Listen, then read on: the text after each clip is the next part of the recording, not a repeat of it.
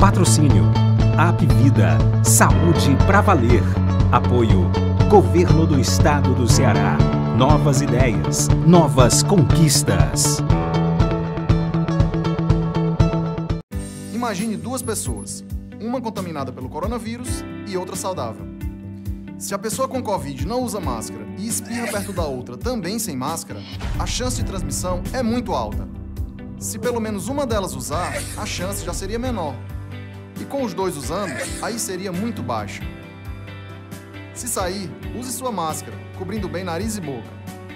E mantenha o distanciamento. Faça sua parte. Olá, amigos e amigas da Trend CE, nossa multiplataforma de conteúdo especializado em investimentos e tendências de negócios no Ceará. Estamos aqui reunidos para mais um Cenários Trends, programa, programa que faz parte do nosso cronograma de conteúdos estratégicos. Aqui quem fala é Peri Negreiros, eu sou jornalista da multiplataforma e hoje apresento a vocês o tema Lições da Pandemia para a Logística das Empresas. Contamos aqui hoje com três convidados selecionados pela produção. O primeiro deles é o André Melo, ele é superintendente da área de logística do Apivida. Temos também conosco aqui o Everson Souza, ele é mestre em economia de empresas especialista em logística empresarial e comércio exterior, além de sócio diretor da HS Trade Comércio e Logística. Também aqui com a gente a Ricristi Gonçalves. Ela é coordenadora de Vigilância Epidemiológica e Prevenção em Saúde da Secretaria da Saúde do Estado do Ceará, conhecida como CESA também. Eu queria abrir perguntando a vocês Uh, em que nível, pessoal, a pandemia impactou os processos referentes à logística, na opinião de vocês? Nesse ponto, seria interessante que cada um avaliasse é, para nós essa mudança em sua perspectiva área, respectiva área de, de, de conhecimento e experiência profissional. Como as instituições precisaram reagir para garantir o abastecimento com a entrega de insumos e a prestação de serviços seja na iniciativa privada ou na saúde pública. Eu começo com o professor Everson. Tudo bem, professor Everson? Boa tarde, boa noite, bom dia, seja lá qual for a hora que o nosso é, ouvinte, telespectador, está acompanhando aqui o vídeo da Trend CE. Tudo bem, professor? Tudo bem, Peri. Inicialmente, eu, eu saúdo a todos, né, os presentes e aos nossos ouvintes, telespectadores faço minhas suas palavras, né, de bom dia, boa tarde, boa noite, conforme a conveniência de cada um. E agradeço pelo convite, né, nesse tema aí que é um tema é, mais do que relevante atualmente, né? Ele é aquele aquele tema do momento, né? Aliás, que já está esse momento, infelizmente, ele está se prolongando, né? Já há algum tempo e todos ansiosos para que isso dê um, uma um, uma refrescada né, na situação é, melhor e tal. É, tem uns picos e repicos e, e novas, é, infelizmente, notícias que não são muito boas, é, é, de, de, volta de novas cepas aí, etc. Né? Mas o fato, assim, a, a, sem dúvida, né, a logística, mais, mais do que nunca nesses momentos, ela, ela tem é, vital importância, porque numa situação dessa, primeiro, digamos assim, é, eu diria inesperada, né? Inesperada, assim, meio surpreendente. Haja visto que nós ainda tivemos a vantagem que nós estamos aqui no Brasil, né? Essa coisa começou lá no Oriente e tal, e veio, então nós já tivemos aí, digamos assim, um delay, né?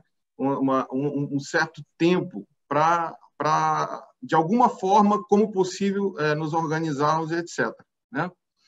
E as empresas tiveram que fazer um esforço, é, eu diria assim, hercúleo, né? para demonstrar resiliência, né? resiliência logística, capacidade de, reagir e atender essas demandas de toda sorte, né? das empresas, como você bem falou, é, é, não só empresas é, privadas, públicas, é, da área médica, da área de equipamentos hospitalares e de transporte, etc. Né? É, essa, essa foi uma coisa, eu acho que tão séria, tão inesperada, eu acho que como uma guerra é, que da noite para o dia ela eclode assim para a sociedade e todos têm que se mobilizar imediatamente para reagir, né?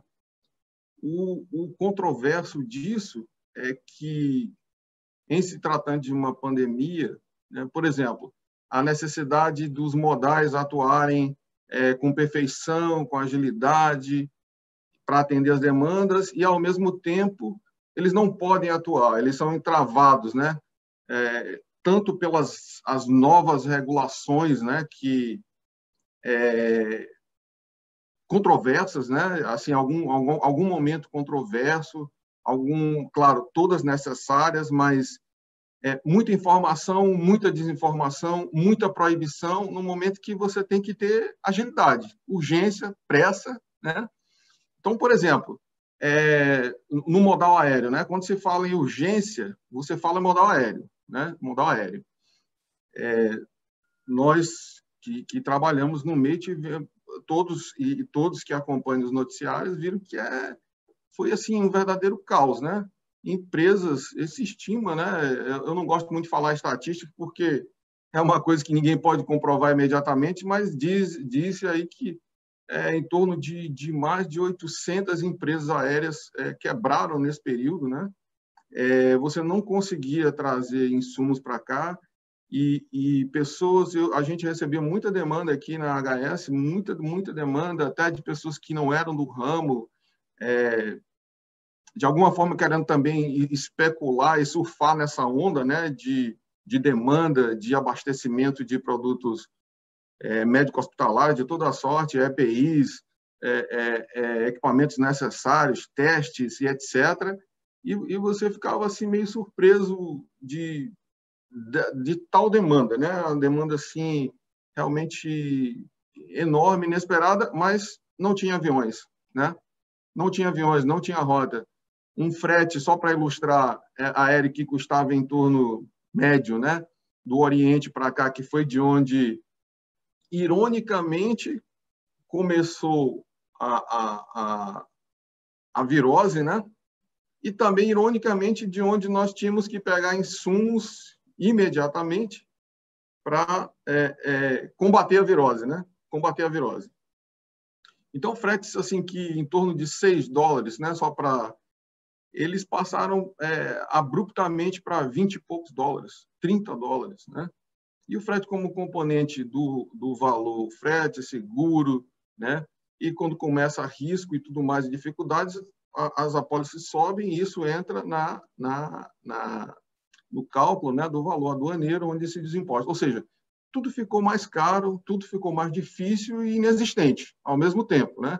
A, a pressão por ter, é, por receber aquilo sem condição de fazer. Né? os países tomando suas medidas aí é, é, de toda sorte, né?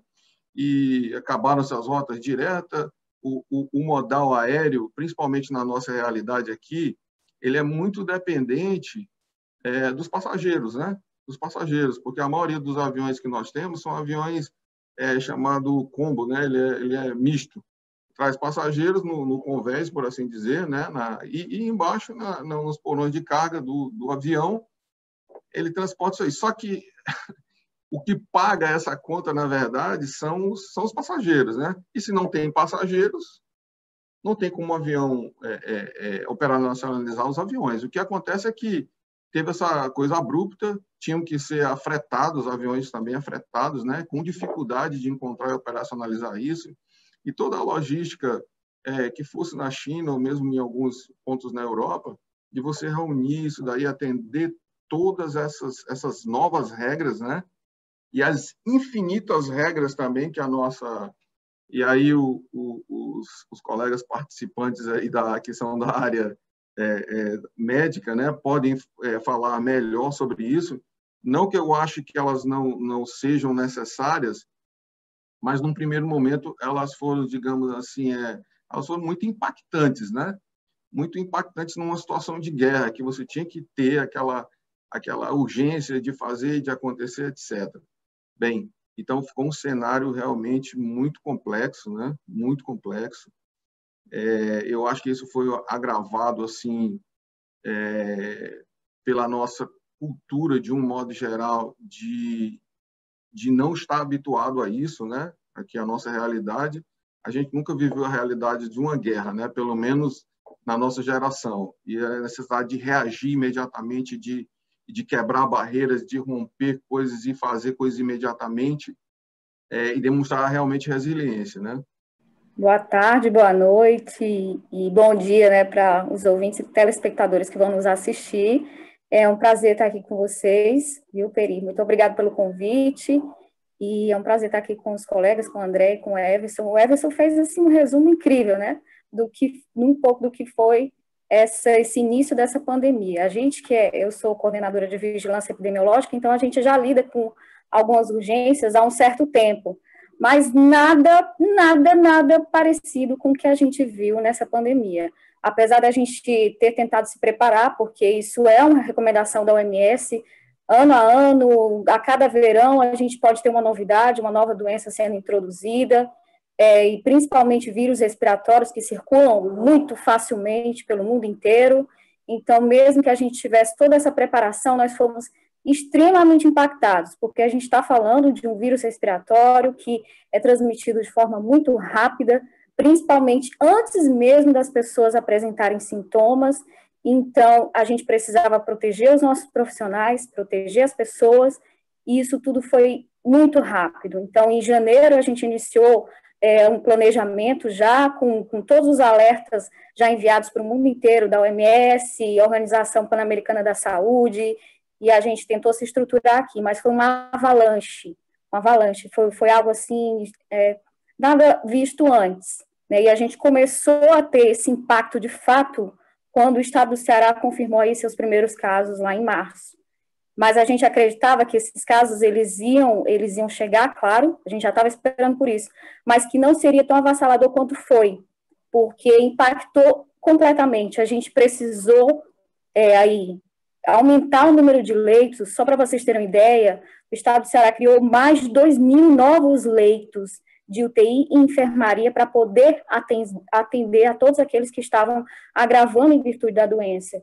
Então, isso, gente, vocês, conseguem imaginar a quantidade de, de, produtos e equipamentos que a gente precisou trazer de fora do país, né, e toda essa logística que, que, o Everson já colocou muito bem, né, a gente precisou de aviões imensos, é, aviões cargueiros gigantescos, precisava acionar é, agência de vigilância sanitária, Polícia Federal, aduana, todo mundo para que essa carga fosse garantida e que chegasse aqui, isso com equipamentos de proteção individual para todos os profissionais, em torno de, de 12 mil profissionais, juntando todo mundo que estariam no estado como um todo, enfrentando essa pandemia. Então, vocês imaginem o quanto foi, foi difícil, até porque as pessoas que estavam na linha de frente, as pessoas que estão em toda essa logística, também adoeceram. Então, também é, a gente teve muita baixa é, de pessoas que estão dentro de todo esse processo e que em algum momento esse processo teve atraso, esse processo ele não continuou, porque as pessoas simplesmente, simplesmente adoeceram e também precisaram desses recursos. Então, é, hoje a gente soma mais de 360 mil casos confirmados. E nós tivemos, assim, um pico muito elevado no mês de maio. E nós estamos observando agora, eu estou falando enquanto profissional da saúde e aproveitando esse espaço para alertar, né, que ainda não acabou, então a gente teve que se reinventar em todos os sentidos, e isso foi bom, já que a gente está falando de lição, isso foi importante porque todo mundo se adaptou. Né? Inevitavelmente, irremediavelmente, todos tiveram que se adaptar. Então, a gente percebe hoje que a gente está, sim, em ascensão de casos, mas a gente percebe que toda a nossa estrutura ela já está ela já está sabendo mais como lidar com isso, com essas que já não são mais surpresas. Então, a maior lição foi essa. A gente já está com 10 meses, 11 meses quase de pandemia e muito se aprendeu em relação à logística. Sofremos, sim, bastante, porque era angustiante a gente não conseguir receber em tempo todos os materiais que compõem uma unidade de, de de terapia intensiva e que precisa fundamentalmente de equipamentos que, que são os respiradores e que as pessoas que estão ali vão necessitar disso para a vida. Então, a gente teve, teve sim perdas, infelizmente, mas a gente teve principalmente muitas pessoas se mobilizando, né, como um todo. Empresas, indústrias, todas muito motivadas, não só para o lado econômico, mas sim em tentar é, minimizar, mitigar alguns danos que a gente estava sofrendo com esse impacto tão gigantesco da pandemia. Perfeito, Cristo. Eu queria ouvir a impressão, a primeira impressão do André. Tudo bem, André? Oi, Peri, tudo bem? Primeiramente, agradecer em nome do, do Sistema Apivida e o convite de participar dessa conversa, desse bate-papo, ao redor de um tema tão importante que a gente vem vivendo tão intensamente, literalmente na linha de frente, tá, desse negócio. É, acho que a maior parte das pessoas já conhece, já ouviu falar do sistema Apivida. Nós somos um, um sistema com um modelo verticalizado, onde mais de 90% dos nossos atendimentos, quando a gente fala de Norte-Nordeste, são realizados em unidades próprias. Tá? Somos a única operadora do país com rede própria de atendimento. Quando eu falo rede própria, eu falo inclusive hospitais nas cinco regiões. E para a gente, independente de cenário de pandemia, a logística sempre foi um tema de grande desafio, porque literalmente nós temos operação do norte ao sul desse estado. Imagine hoje a gente ser, operar mais de 450 unidades de negócio em todo o território brasileiro, um, um país onde se tem geograficamente dimensões é, continentais, a gente operando em regiões de, de, logística bastante complicada, como é o fato de Manaus, onde você só tem dois modais para a chegada de, de, de insumos, seja aéreo ou seja por, por navegação, tá? E, e, e, diante de um cenário onde o planejamento mitiga todos os impactos, a gente é acometido de um, de um fato novo, por mais que se tenha sido anunciado é, 60 dias, 90 dias antes no Oriente, como, como o Everson falou, jamais a gente poderia imaginar qual seria o impacto, primeiramente pela questão de você não saber como lidar assistencialmente com, essa, com esse novo vírus. Tá? Eu diria que esse foi o principal desafio. E a partir do momento que você não conhece, não sabe como lidar, você já tem um fator que eu diria que ele é complicador para planejar, para saber o que é preciso e para dimensionar efetivamente os nossos recursos. Antes de falar especificamente de logística, eu colocaria a questão de suprimentos como o principal gargalo. A pandemia ela trouxe alguns, alguns ensinamentos para a gente e que a gente, infelizmente, aprendeu isso na dor. Né? Muito embora o sistema Pivida não tenha em nenhum momento é, desabastecido ou corrido o risco de desabastecer a assistência, afinal nós somos responsáveis por quatro, quase 4 milhões de vidas em todo o território nacional, vidas de saúde, isso aí sem falar nas vidas de, do, é, de dental, tá? É, a gente, a gente, a partir dos primeiros momentos, por mais que a gente tenha trabalhado o planejamento, acho que um dos grandes ensinamentos que a gente trouxe, que, que, que a pandemia trouxe, foi a dependência que a gente tem do mercado externo. Quando a gente viu as crises aonde é, é, a gente viu que os principais EPIs, a gente tinha 90%, 95% de dependência do mercado chinês, é, e, paralelo a isso, foi uma pandemia que, quando chegou no Brasil, ela, ela, ela estava nos, nos níveis crescentes ou mais altos no, em, em, em continentes como Europa e América do Norte é, se tornou uma disputa, inclusive desleal, a gente está concorrendo como país com as principais potências mundiais. Imagine você a capacidade de, de, de, financeira que uma grande potência como, como os Estados Unidos tem, concorrer em igualdade de condições contigo com o mercado chinês, é onde todo mundo dependia disso. Tá? Eu acho que esse foi o principal é, é, desafio que a gente teve antes de falar em logística, porque não adianta, não adianta a gente falar aqui em logística se a gente não tivesse a cadeia de suprimentos no seu início efetivamente ajustada para eu conseguir distribuir. Tá? É, de todo modo, é, eu acho que o desafio da gente, mesmo com essa concorrência, obviamente, eu acho que todo mundo se mobilizou para trazer alguma coisa de fora. Eu acho que, que o Everson colocou muito bem. É, o setor de saúde ele é um setor naturalmente muito regulado, eu acho que por, por, por vários motivos, não, não, não nos cabe entrar aqui nessa discussão, mas que as decisões das flexibilizações, embora tenham acontecido, elas, elas passaram por algumas alçadas até que efetivamente a gente tivesse um acesso mais facilitado a esse fluxo de importações. questão de registro de produto, a questão de registro de equipamento, a, a própria regulação da Agência Nacional de Vigilância Sanitária, enfim. Acho que, que, que tudo isso terminou contribuindo para agravar a, a, a situação antes de a gente falar de logística.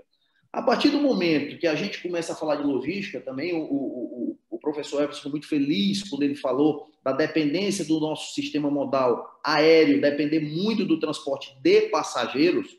O Brasil é realmente dependente disso. É, uma das grandes contingências que nós, como a Pivida, usamos nesse período de crise foi realmente o fretamento de aviões. Quantas vezes, quantas viagens nós fretamos para fazer transferência dos principais equipamentos, na realidade, o, o, a assistência do doente mais crítico dessa pandemia, quando você fala em equipamentos, ele se restringe a basicamente três itens: respirador, bomba de fusão e monitor cardíaco. Além das medicações e dos protocolos que são inerentes a cada nação, a cada instituição para tratar seus doentes. Tá?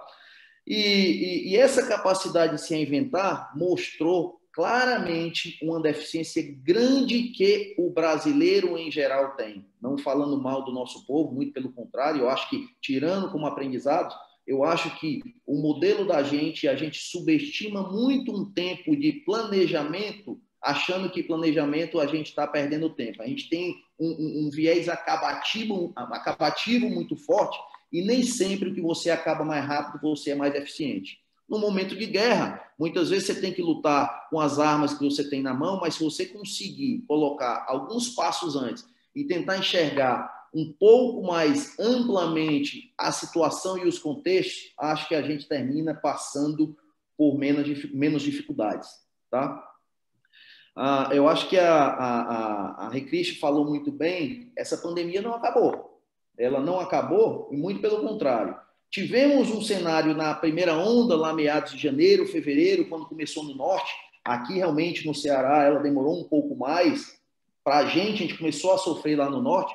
Hoje, nos sentimos muito mais preparados do ponto de vista de tratamentos, de assistência, de como tratar o doente.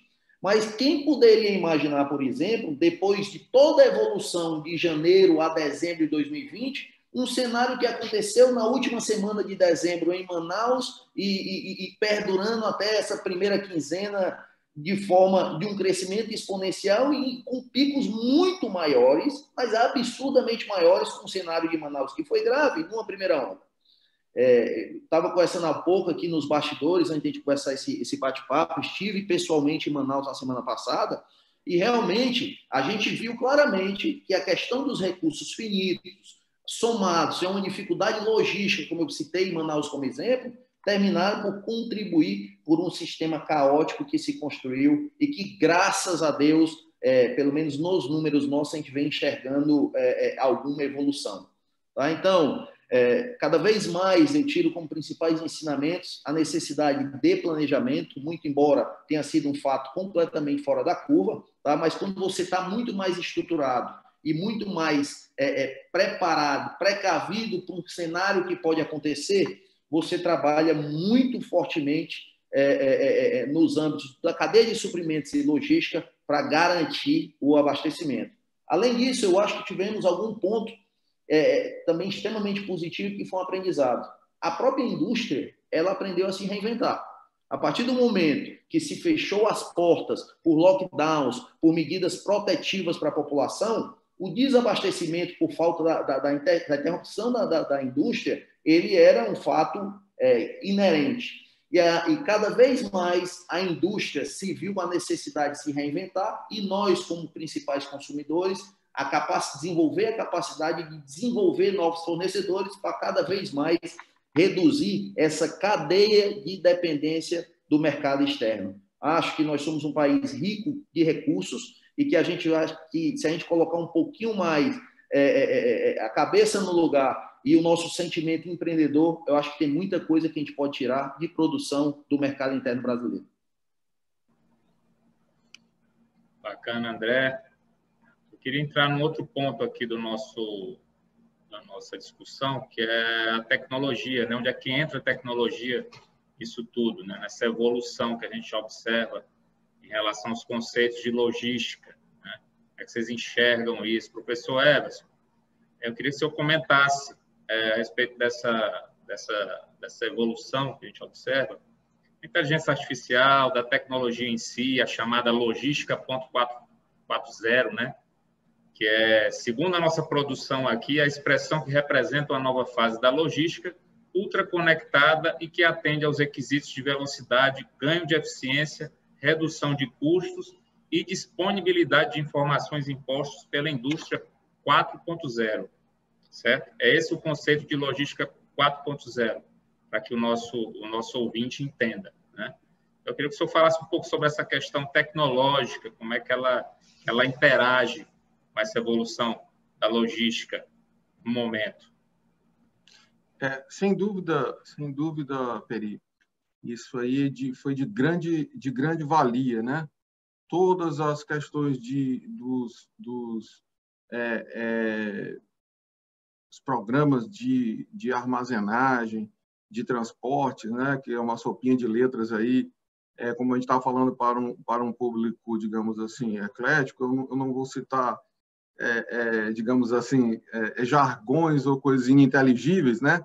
É, tipo WMS, TMS, etc., que são coisas particulares da logística, mas são programas né, que, de inteligência artificial que interagem, né, que interagem e que de muito, é, muito eficientemente eles, eles agilizam, agilizam a é, expedição de pedidos, o controle, a, a marcar a seleção de, de, de quais é, equipamentos vão sair, a demanda daquilo, controla a demanda, é, é, organiza um transporte, etc. Mas, ainda, né, isso tudo, ó, ó, esse é um outro aspecto que, na, no, eu diria assim, na nossa realidade privada, né, nas empresas, existe grande investimento e treinamento de suas equipes nesse, nesse aspecto, tá? Mas eu, eu diria assim que, de um, de um modo geral, isso não é nenhuma crítica, digamos assim, específica, mas ao processo, certo? De um modo geral, o, a, as nossas entidades públicas, elas, elas não acompanham isso com a mesma velocidade. Elas não acompanham isso com a mesma velocidade, não tem a mesma interação. Então, assim, de nada adianta eu ter um processo muito rápido é, lá fora e até mesmo a interação com uma, uma empresa aqui, se chega aqui tem um gargalo, né? Chega aqui tem um gargalo. A carga não é liberada por um motivo ou por outro. Só, só para ilustrar, olha, é, já há algum, algum tempo a gente a primeira coisa nós temos nós temos é, deficiências, né? Nós temos deficiências de infraestrutura, etc. Essa, essas deficiências são históricas e tal. Mas eu, mas eu ainda acho que a nossa, a nossa maior deficiência e o nosso maior gargalo, ele, ele é cultural, sabe? E existem trabalhos que falam até de, de distância psíquica, né? A dificuldade de realizar coisas. Assim, por exemplo, é, a, a, liberação de mercadorias no mercado no mercado externo é em torno em torno a média, né? Dois dias, né? 48 horas. Aqui no Brasil, se tudo correr bem, cinco dias úteis, quatro, cinco dias úteis, se tudo correr bem, né? Se houver um, um, um, essa, essa coisa, embora seja randômica, né? seja uma coisa aleatória, coisa de dizer, ah, deu canal vermelho, deu canal verde, a mercadoria que está vindo e corrobora aí com a ideia do com, com o que foi dito pelo André, que a gente tem uma dependência forte ainda de muitas coisas, né? Particularmente esse foi um aprendizado aí para acho que para todos e particularmente oportunidade para a indústria nacional, etc. Mas de, de, nada, de nada adianta esse cabedal, digamos assim, de informações se você fica atado, né? Você agiliza um lado que, na verdade, para compensar os atrasos que vão que vão acontecer, os gargalos, né? E a gente, é fato, né? Volto a dizer, isso não, não é nenhuma crítica específica a nenhuma instituição governamental, mas é a nossa realidade, né? Enquanto se, se por exemplo, na Ásia, o tempo médio é 20 horas para liberar a mercadoria. A média mundial é dois dias. No Brasil, cinco dias se tudo correr bem. Se chegar perto da, da época de um feriado, você não consegue liberar aquela mercadoria, independente de quem seja, né? Independente de quem seja, você não consegue. Isso assim é desesperador, né? Você vê um, um, insumo necessário, não, não só para a indústria médica hospitalar no momento, mas para outra indústria que é vital, e você olha aquilo ali bem ali num pátio, mas ele não pode sair. Ele não pode sair, não tem quem faça aquilo ali sair. Eu entendo e, e sou um defensor ferrenho é, das, da, da, digamos assim, é, da observação, né, da, da diligência para que aquilo seja feito de, de forma correta, é, é, as inspeções necessárias, se, se, se aquilo que foi declarado é realmente aquilo, etc, etc, etc. Mas o que, que acontece? Às vezes as pessoas que... É, a gente ainda depende muito das pessoas, muito das pessoas, né? Eu acho que vai levar muito tempo ainda para que esse processo fique totalmente automatizado, né? totalmente automatizado, que ele que ele tenha o, o sonho da logística é você não não ter armazenagem, né? Que que aquilo seja um processo que flua de uma forma é, contínua e sem e sem gargalos, né? Sem sem sem digamos é, é, bloqueios, tá? Mas justamente a gente peca nesse nesse nesse quesito, né?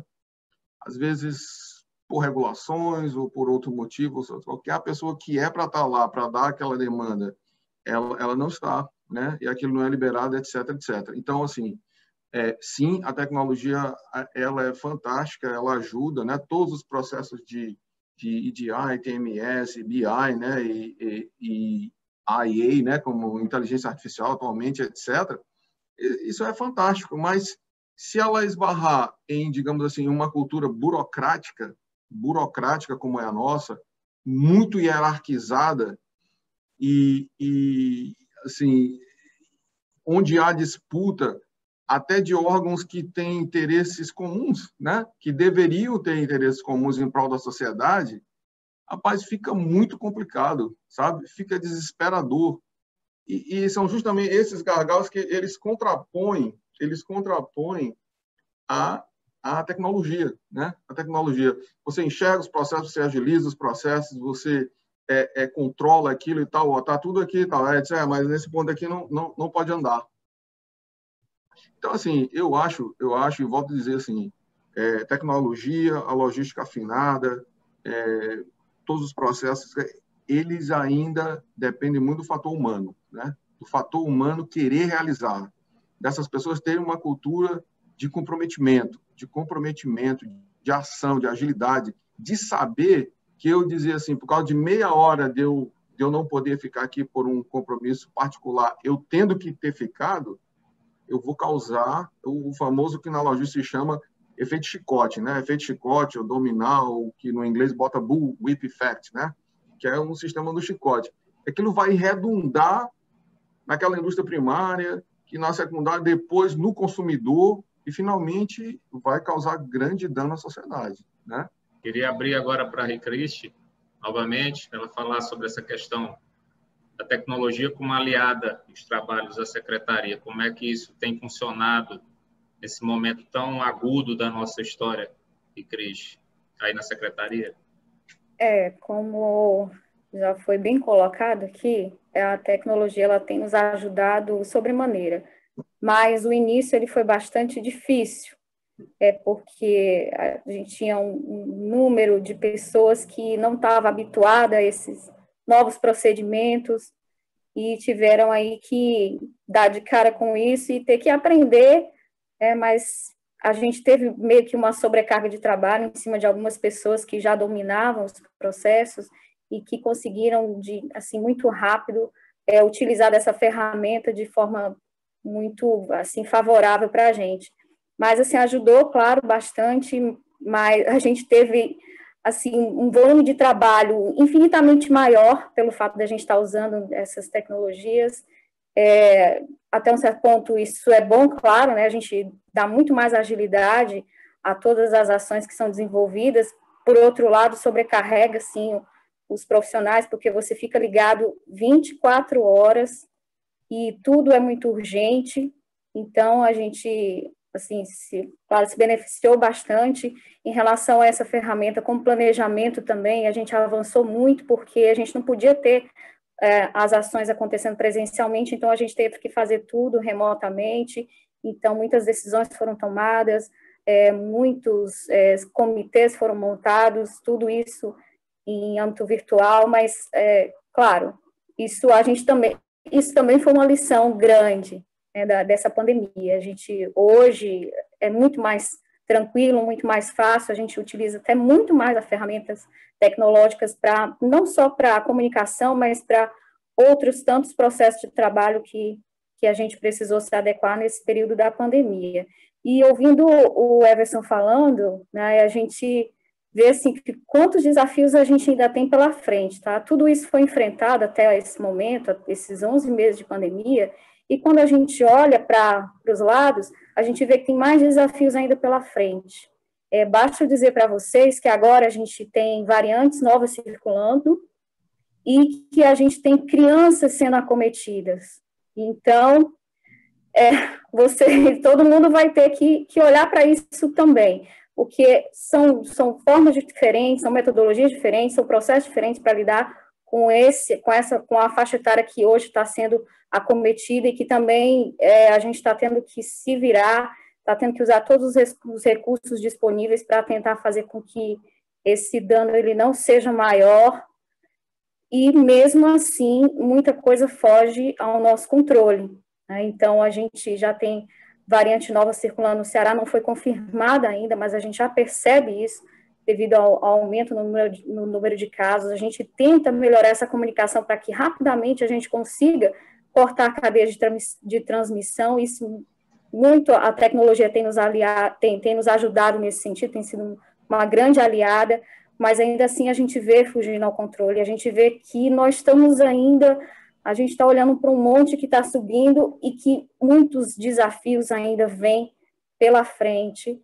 É, ouvindo também o Everson falar, a gente teve assim, uma, uma loucura para a logística da chegada da vacina aqui no Ceará, foi tudo, estava todo mundo muito tenso, aguardando aí uma, um posicionamento da Anvisa, de, de forma que assim que ela se posicionou, foi uma loucura geral no país inteiro para recebimento dessas, dessas doses, que na verdade é, é um, um pouco ainda do que tem por vir, mas só isso já movimentou assim, o país inteiro.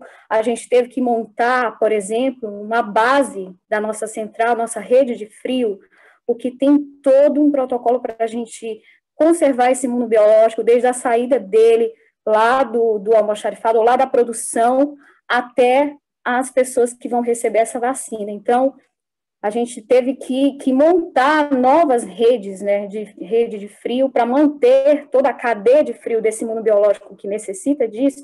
A gente teve que montar isso em praticamente dois dias, porque a gente não sabia exatamente quanto vinha, a gente não sabia exatamente qual dia que ia chegar, quando é que isso ia ser liberado, e, claro, a gente esbarrou também em algumas, algumas burocracias em regulação, e Algumas a gente conseguiu devido à emergência e à necessidade da gente ter esse insumo, esse imunobiológico de forma urgente no Ceará como um todo, a gente conseguiu ainda, é, vamos dizer, ultrapassar algumas etapas, mas com muito sofrimento, mas a gente tem, tem conseguido, mas tudo isso é, gera um pouco de desgaste, que o Everson já colocou muito bem, e que, nesse sentido, e olhando para os desafios que a gente ainda tem, a gente precisa evoluir um pouco mais, eu vejo dessa forma. Muito conseguimos aprender, claro, mas a gente vê que ainda há necessidade da gente evoluir um pouco mais na questão da logística interna, em facilitar os processos, em agilizar processos, principalmente aqueles mais necessários, aqueles essenciais à saúde humana, principalmente. Henrique Cristi. André, como é que anda esse envolvimento aí no Apivida com essas, esses ganhos tecnológicos do dia a dia, nessa parte logística especificamente? Na realidade, é, o mundo todo vive uma, uma revolução de transformação digital. Né? Cada vez mais é, você vem avançando numa velocidade gigantesca nesse tema e olhando os conceitos de logística 4.0, cada vez mais o que se preza com essa transformação digital é ganhar eficiência. Ganhar eficiência na velocidade, ganhar eficiência em custos, ganhar controles, ganhar segurança nas transações.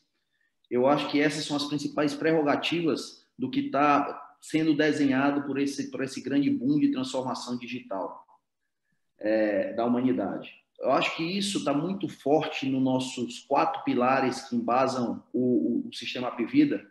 Existem quatro pilares que nos sustentam, que é qualidade assistencial, acolhimento, eficiência em custos e inovação. Esses dois últimos, eficiência em custos e inovação, eles terminam sendo é, suporte e alicerce para o nosso propósito. Nosso propósito é levar acesso, assegurar o acesso à saúde. O acesso à saúde é garantir o que até hoje a gente vem cumprindo, eu diria com louvor, que é dentre as grandes operadoras do país, a gente ter o menor ticket médio do mercado, isso falando a nível nacional, tá? E essa questão dessa transformação digital e o uso da tecnologia, eu acho que a tecnologia é um meio, tá, de, desse processo de transformação, ele visa cada vez mais os processos logísticos ganhar eficiência. Como, por exemplo, a gente sabe que um dos maiores custos hoje dentro de uma, de uma corporação, principalmente quando a gente fala do nosso cenário, onde a gente tem operação praticamente no país todo, são os custos de armazenagem e os custos de estoque. Tá? Eles são extremamente onerosos quando você vai olhar o PNL da companhia. Cada vez mais você está trabalhando com plataformas através de desenvolvedor, desenvolvimento de parceiros, de fornecedores, que deixam de ser exclusivamente fornecedores e passam a ser parceiros do teu negócio, aonde o estoque que está dentro de casa não, não pertence à companhia e sim ao próprio fornecedor dentro de uma relação que já está construída comercialmente. Então, eu diria que essas oportunidades da transformação digital, olhando no cenário logística, passam por, por otimizar e reduzir custos como, como custo de estoque de armazenamento, tá? que obviamente também reduz essa questão de custos logísticos quando você tem um cenário bem planejado, definição de estoque mínimo, definição de ponto de suprimento, e isso deixa de estar na tua mão, tu deixa de estar aportando e, e deixando recurso imobilizado como estoque é, é, dentro de casa e passa esse controle através das, dessas plataformas para os teus principais parceiros e fornecedores. Perfeito, André. A gente está se encaminhando para o nosso limite de tempo aqui nesse cenário trends. Aí eu gostaria de pegar já de vocês as considerações finais de cada um. Mas aí eu já faço uma provocação para que vocês emendem com as considerações finais de cada um é, a respeito do tema central proposto aqui para os nossos cenários, que é essa questão da lição. Qual a lição que essa pandemia deixou para a área de logística que as empresas podem, podem é, digamos, apreender né, a partir dessas experiências que cada um de vocês é, é, teve é, diante dessa, dessa pandemia. No caso do Everson, muito mais na parte teórica, não é, Everson? Suas considerações finais, por favor, né? Mas também teve a parte prática, né, com a, com a sua empresa, não é isso? É, exatamente, Peri. Eu, eu apesar de, de é, participar da, da, vida acadêmica, né, eu sempre tive os dois pés, né? Assim, eu sou um cara de mercado, eu, a minha vida, é, eu comecei como, como oficial de marinha, né? Marinha mercante, depois trabalhei em terminais, em agências, operação portuária, e nos últimos 16 anos eu passei também a atuar na vida acadêmica, né? Sempre era nas duas, porque eu acho que uma é, o conhecimento ele ele direciona, mas o que ele desenvolve é o trabalho, certo? O trabalho, a prática. Eu sempre até brinco com os alunos, eu digo assim, rapaz, é, nós estamos nós estamos estudando tudo isso aqui, tudo isso aqui, ele ele é claro, ele tem uma lógica, um modelo, mas isso aqui, todo modelo é falho, né? Então, na verdade, você tem que sempre perguntar a alguém que sabe, que já fez isso. Pergunta assim, né? Toda empresa tem, eu brinco assim, o seu João. Seu João, o senhor já fez isso aqui? Já. Como é que é isso aí? É assim, se ele disser e for diferente do seu modelo, olha, acredite nele, viu?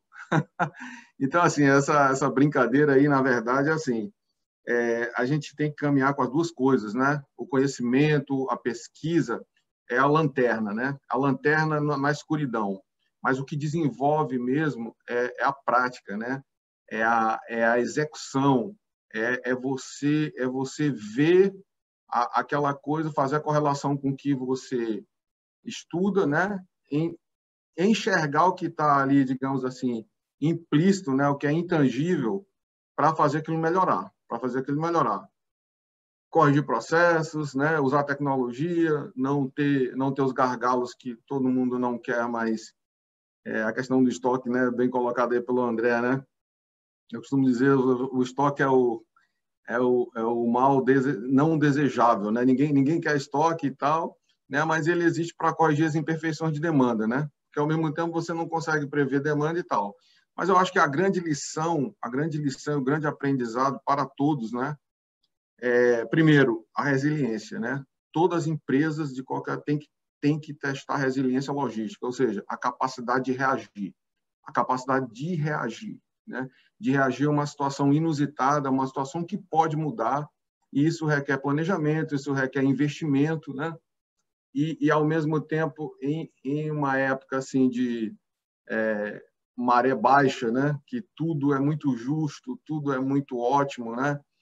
É, a questão lá do, do e a gente ensina isso, né? É, o, o, o, ponto é com o IOKI, né? O ponto econômico, o melhor econômico de compra, de ver ninguém quer perder tempo, ninguém quer perder é, é, capital, ninguém quer ter capital materializado e tudo, mas ao mesmo tempo você tem que estar capaz, ser capaz de reagir, né? De reagir a uma situação inusitada.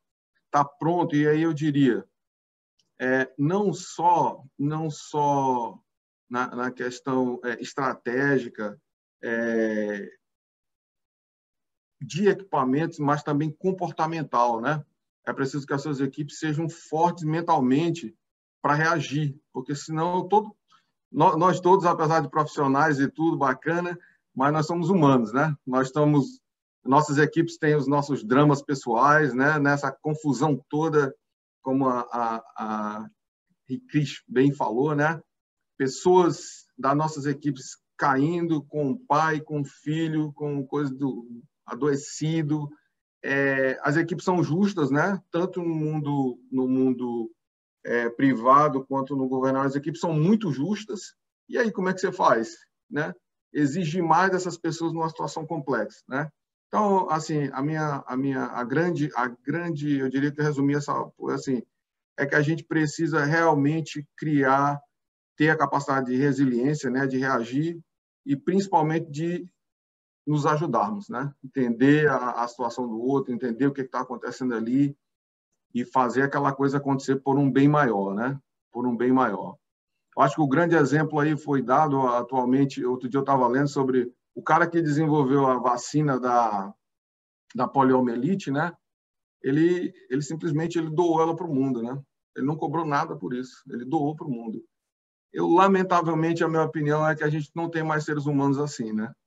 A gente vê cada vez mais, apesar de eu ser um cara da administração, de economia, de logística e tal, eu acho que quem dá vida anímica a tudo isso somos nós, somos as pessoas, né? A essência das pessoas. Se você não tiver vontade, se você não tiver boa índole, capacidade colaborativa, etc., nada acontece. nada acontece. Então, essa seria aí a minha, o meu fechamento sobre isso, né? A grande, a grande essência que ainda move tudo isso é realmente a boa vontade e a capacidade de reagir, tá certo? Maravilha, professor Everson, obrigado pelas considerações. Agora eu quero ouvir da Recriste as considerações finais. Qual a grande lição que essa pandemia na parte de logística deixa para as empresas e para as pessoas também, não é? É, a, a gente a gente costuma dizer aqui, Peri, que tem duas coisas que se popularizaram, dois termos que se popularizaram, que foram os epidemiologistas e a logística. Hoje muita gente fala sobre e tenta entender sobre logística e sobre epidemiologia. E a gente percebeu, assim, o serviço público, ele é um, um tanto diferente, vocês sabem bem disso, do que o setor privado, então a gente não tem, é, em alguns órgãos, a gente não tem um setor de logística exclusivamente para todas as ações que são realizadas, então acaba que aquele trabalhador que não tem aquela expertise, ele acaba sendo colocado para fazer é, um processo de logística que muitas vezes ele não compreende muito bem. Então, a gente tem aprendido muito com isso. Né? A gente tem aprendido muito, inclusive, a gente tem evoluído com isso. E uma, a maior lição que eu acredito que essa pandemia deixou é que a gente precisa de cooperação, é, e a gente teve, mas a gente precisa além, e que a gente precisa planejar mais e avaliar mais os nossos processos. É, é, é muito bom assim estar aqui presente num, num, programa como esse e ouvindo esses profissionais como André e como Everson, como a gente vê que, que a gente tem que buscar mais conhecimento a respeito e mais profissionais que nos ajudem nisso, né? Porque realmente enfrentamos alguns problemas de logística, por, enfim, por questões de, de falta de conhecimento ou expertise, ou, mas a gente conseguiu, de uma certa forma, se reinventar em pensar mais nisso e ver a importância fundamental que isso tem dentro de uma instituição, certo? E então isso foi, foi uma lição bastante importante. E também entender que eu, eu também comungo com o que o Everson disse, que tudo isso é feito de ser humano, seres humanos que grande parte de, de todas essas ações que foram aqui mencionadas e muito bem colocadas, depende de seres humanos que estão passíveis de adoecer mentalmente, de adoecer fisicamente, de ter problemas diversos que inviabilizam essa pessoa, que é, propriamente o óbito, a gente teve perdas de pessoas fantásticas, maravilhosas, profissionais incríveis por conta de, de, de problemas de saúde. Então, é, é entender também que, que as pessoas têm que ter participação tem, tem que estar bem, sim, para que o processo ele, ele ande e para que a gente tenha êxito em tudo. Então, planejamento, avaliação, controle, são palavras-chave e principalmente a gente buscar ainda mais conhecimento e cooperação com aqueles que entendem e que podem cooperar conosco, né? que o serviço público ele tem ainda muito que que evoluir nesse sentido, e já foi muito bem colocado aqui pelos colegas que estão também participando desse debate. E que não acabou e que a gente tem desafios, que a gente não pode, a gente teve, gente, o que a, a gente considera como um respiro, vamos dizer assim. A gente teve uma situação muito grave no estado do Ceará e no país inteiro. A gente teve um momento de estabilização, mas agora é hora de acordar de novo e pensar lá na frente e continuar os planejamentos e ser cada vez mais efetivo nas ações com as lições que a gente aprendeu há alguns meses. Tá? Então, eu só agradeço assim ter participado, assim foi fantástico ouvir o André e o Everson falando. Com certeza muitas coisas aqui a gente vai levar lá para a equipe lá da saúde, porque os desafios não vão parar nunca porque a gente sempre pode ter alguma novidade chegando por aí, alguma emergência em saúde pública, e talvez a gente esteja um pouco mais preparado depois de tudo que a gente viveu. Tá? Um abraço grande. Abraço, Ricristo. Obrigado você pela participação. Lembrei dessa importância que você deixou aí para a gente. André, por favor, as suas considerações finais e qual é, quais são os principais ensinamentos que a pandemia deixa para as empresas, na sua opinião, aí, de acordo com a sua experiência na Bivida. É, Peri, eu acho que o, tanto o, professor Everson como a, como a Recriste foram cirúrgicos nas, nas, nas colocações, tá? Acho até que na minha primeira fala eu já coloquei, mesmo sem saber dessa última pergunta, quais são, qual foram algumas lições e alguns ensinamentos, tá? É, se falou, o professor falou em resiliência, a Recriste falou em planejamento. E eu queria fazer a minha última palavra em cima desses dois temas. Por mais que você se sinta 100% planejado, eu acho que a pandemia ela trouxe um grande ensinamento de que por mais planejado que você esteja, a partir do momento que uma demanda varia, estatisticamente seu planejamento pode furar. Tá? E diante de um cenário de planejamento furado, rapidamente, e a pandemia é, é, é, é exigiu ainda maior velocidade, você precisa mudar de sentido e se adaptar, se reinventar, e isso são características inerentes dessa resiliência. Se você não for resiliente ou suficiente para saber que você vai precisar se reinventar, muitas vezes destruir para reconstruir, é, eu acho que, que, que você termina terminou sofrendo mais nesse, nesse cenário. E talvez o terceiro ensinamento, e o mais importante de todos, a gente viu que os recursos são completamente finitos. Tá? Eu acho que eu diria que esse foi o maior aprendizado. E a capacidade de se reinventar muitas vezes passa por você reduzir, reduzir desperdício, ser mais eficiente, racionalizando e racionando o uso desses recursos. Tá? Eu acho que talvez esses tenham sido os grandes aprendizados tá, que, que a pandemia ainda está trazendo para a gente. Eu acho que a cada dia a gente enxerga novos cenários. Muitas vezes, do ponto de vista logístico, em Manaus a gente descobriu que era mais fácil a gente trazer oxigênio e romper as barreiras regulatórias, é, sanitárias e, e, e, de aduana, e que era mais fácil trazer oxigênio da Venezuela do que levar de qualquer outra região do, do, do país. Imagine que uma logística de balsa para Manaus são sete dias para ir, sete dias para voltar. Quando a Venezuela tem usinas a três dias, distância de, de é, é, rodoviária de três dias, entendeu? E que você ganha eficiência no processo como um todo. Então, todo dia você está aprendendo. Talvez se não tivesse, tido, não tivesse acontecido o que recentemente aconteceu em Manaus, a gente não tivesse aberto os olhos para isso. Então, acho que esse, esses foram os principais aprendizados. Não acho que os aprendizados vão ficar por aí. Cada dia a gente está aprendendo um fato novo, cada dia a gente está vendo a necessidade de embarcar a tecnologia e trazer a inovação de novo. A tecnologia é só um meio de, de você pensar de forma inovadora, pensar de forma empreendedora e que todos nós, independente de ser setor público e privado, a gente sempre busque eficiência. Até porque, quando no momento desse, os recursos eles são consumidos numa interseção muito grande, seja iniciativa pública ou iniciativa privada. Tá?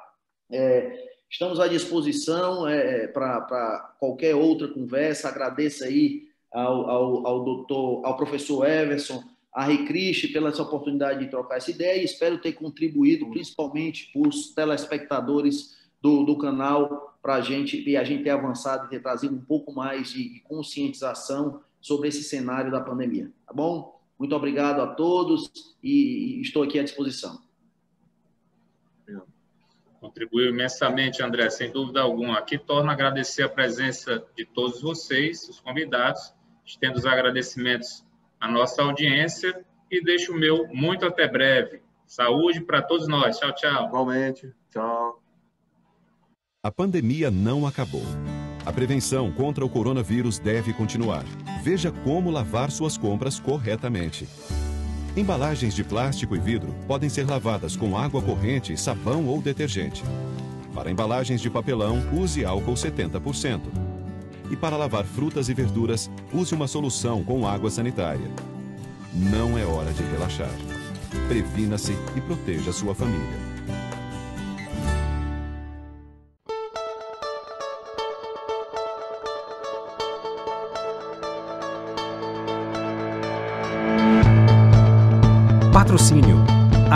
Vida. Saúde para valer. Apoio. Governo do Estado do Ceará. Novas ideias. Novas conquistas.